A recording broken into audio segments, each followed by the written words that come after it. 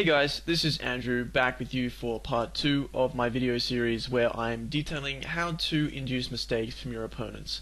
Um, from those of you who haven't seen part 1, it's not really required viewing because uh, none of the hands in, ha in uh, part 1 really determine my actions in part 2, uh, apart from one or two specific instances. Uh, but the basic theme of this series is that I'm going through and detailing how you can induce mistakes from your opponents. Uh, in part two, I'm also detailing a couple of hands um, where I detail the importance of not making a mistake yourself.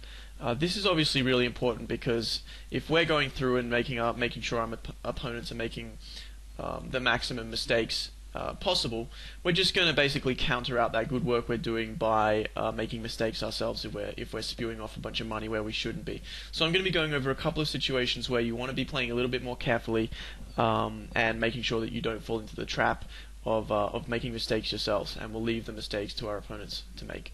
Uh, so I'm just going to get straight into the hands and we'll get on with it. Okay, so the first hand on the list is a very simple hand which we can just play right through to the end and then just pause uh, once the blinds fold. Um, but it's a very simple hand where I raise 8-5 offsuit on the button and uh, get two folds in the blinds. Um, it may seem like it's almost useless to um, to go over this hand, but I really want to drive home how powerful it is to blind steal against people who are non-observant um, in the small and big blind.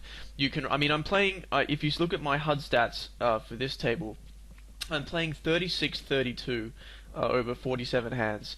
Um, this guy Farpok is has only six dollars, um, so he should be basically re-raising and committing himself with a very wide range of hands because my button range is so weak. Um, and then Dan Peel here is 24-10. He's playing full stacked. He should be putting pressure on me because I'm so wide from the button. Uh, he should be re-raising me with a very wide range. Um, but the great benefit of people who um, are not good at poker or who don't understand um, who don't understand what a range is, or who don't understand how to read hands, or how to play post flop out of position, particularly out of position. That's quite a good point, uh, quite a key point. Is that a lot of people just play really tightly in the blinds because they don't understand how to continue versus a wide range out of position. Now, if they're going to make a mistake, um, if they're going to make a mistake versus me post flop, then I would recommend that they fold. But you can just see that if someone is only re-raising a range of sort of two or three percent, being you know jacks plus and ace king, and maybe the occasional like suited connector, it's just going to be so profitable um, to raise the button and steal the blinds. So I won't go on about this hand because uh, you know it's pretty basic, but you really, really need to be very like acutely aware of who the players directly to your left are and what their tendencies are.